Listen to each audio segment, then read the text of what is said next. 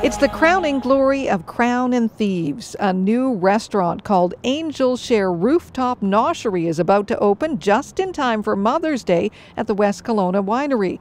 We have a new logo. We have two amazing chefs. Um, the food's going to be killer. It's not like anything you've ever seen in the Okanagan yet. And it's on a roof.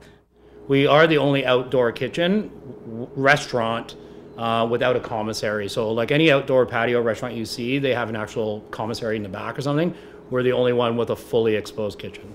It's amazing. Um, it's super functional. There's a lot of space, and um, it's it's just really cool area. Like there's nothing like this in Kelowna, which is really cool for a lot of people to come check out. Crown and Thieves is ramping up for a much busier summer season after dealing with the fallout of the pandemic and fires last year.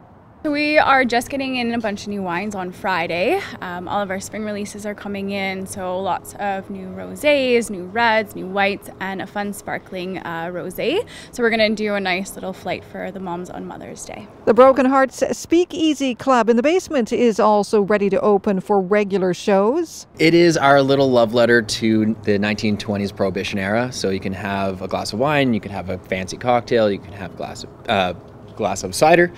Uh, you can come for music, you can come for a show, you can come for just hanging out. Angel's Share is named after the evaporation that happens from the barrel during the winemaking process. The new restaurant at Crown and Thieves is slated to open Friday, weather dependent. It has seating for 60 and you can make reservations online. In West Kelowna, Cindy White, Castanet.